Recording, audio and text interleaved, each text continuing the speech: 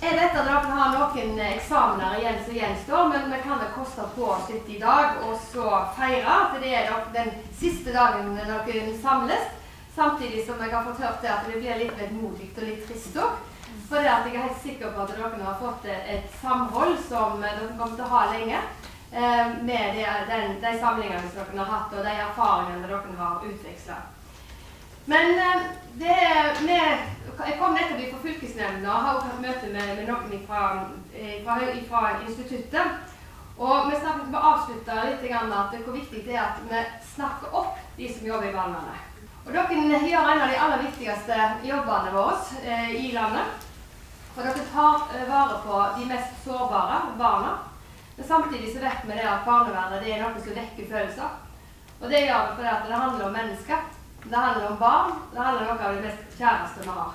Og det viser bare hvor sammensatt barnevernet er, og det arbeidet der. Og derfor er den innsatsen som dere gjør, helt avgjørende for at vi skal kunne se og hjelpe de barn og familiene her og nå. Eh, du skal hjelpe dem nå her, men du skal hjelpe dem videre i livet, sånn at de er bedre rustet til, til det voksenlivet sitt. Og vi vet det at det ofte så ser vi at barnevernet går i arv, eh, at det følger generasjoner.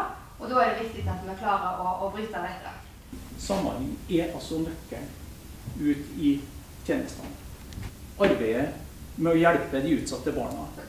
Hvilket annet land skulle gjøre det enn Norge med de ressursene vi har? Og da tenker jeg ikke på barnevernet og ressursene som dere har. Men sammen med PP-tjenesten, sammen med helsesøster, sammen med fastlegene, sammen med kommunepsykologene, sammen med de, alle de andre som også er opptatt av akkurat de samme ungene. Og her er jo dere, lederne. Dere er jo nøkkelpersoner i akkurat det.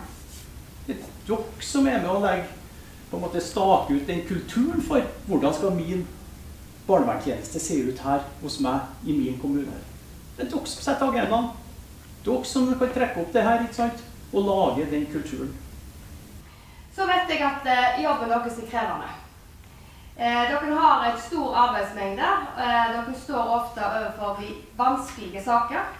Dere skal ta alvorlige avgjørelser som kan være krevende for, for dere som ansatt i den stillingen dere jobber for, men også for barnet og for familien.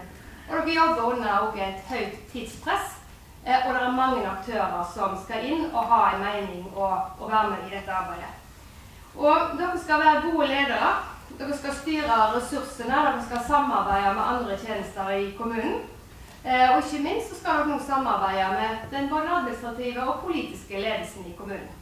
Jeg sier i hvert fall til mine politikere at uh, og jeg har hatt en god del møter med både ordførere og rådmenn fra andre partier òg.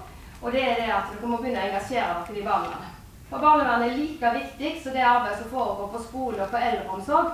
Uh, og når jeg sier det til politikerne, så sier jeg at dere skal ikke gå inn i enkeltsaker, men dere kan begynne å engasjere dere i den tjenesten som er der for å hjelpe sårbare barn og familier. Så ser vi òg det at uh, den eh, utviklingen som har vært de siste årene nå, og det som går på netthets. Eh, der barnevernsansatte opplever at eh, de blir trua på, på liv, og de blir trua av deres egen familie, det har nå gått altfor langt. Så kan vi si det at vi skulle grepet inn og gjort noe før og fått dette på dagsordenen. Men det er jo likevel viktig at alle, det er jo ledelsen ute i en kommune har et arbeidsgiveransvar vi har vært veldig stor fokus på de som jobber i Nav, eh, at de skal ha den tryggheten rundt seg. Men den må de òg ha for de som jobber i barnevernet.